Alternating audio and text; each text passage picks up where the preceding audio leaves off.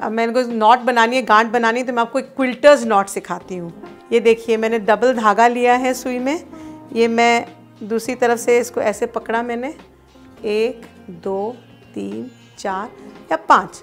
जितने आपको चाहिए, उसको घुमाया सुई के और ये इसको ऐसे खींचा और ये मेरी क्विल्टर्स नॉट तैयार।